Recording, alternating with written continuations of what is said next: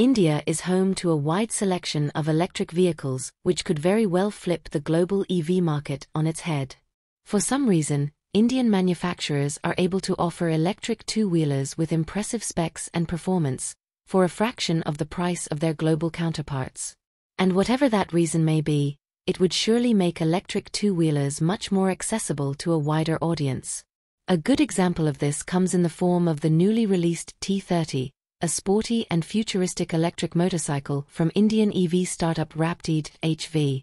This thing clearly flips the script when it comes to EV motorcycles, as it looks like it focuses more on a sporty and enjoyable ride, rather than sheer utility and efficiency. For starters, its styling is clearly sporty, with its sleek and angular bodywork sort of reminiscent of yet another Indian EV motorcycle, the Ultraviolette F77, a bike that has already started making its way to Europe. It also gets way more tech than anybody asked for, as it's decked out with a 7-inch touchscreen display with built-in smartphone connectivity, navigation, and OTA updates. Performance-wise, expect this thing to deliver similar power as a 300 cubic centimeters motorcycle, as it's rocking a 22 kilowatts, about 30 horsepower motor with a claimed torque rating of 70 newton meters, 52.5 pound-feet. This gives the electric motorcycle a top speed of 135 km per hour, 84 miles per hour, and an impressive 0 to 60 km per hour, 37 miles per hour, sprint time of 3.5 seconds. All of this is powered by a 5.4 kilowatt-hour battery pack with a claimed range of 150 kilometers, 93 miles, on a single charge. So yeah, on paper, this thing is pretty standard when it comes to electric motorcycles. For reference, it has similar performance, range, and tech features as the recently released Can-Am Origin and Pulse electric motorcycles.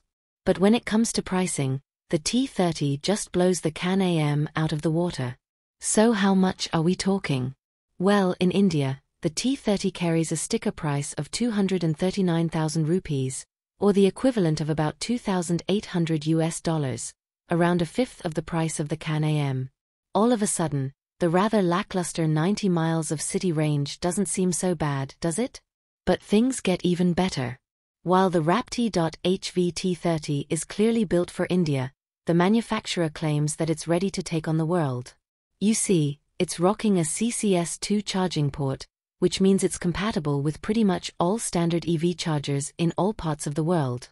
It's also the first electric motorcycle in India to come standard with a CCS2 charging port.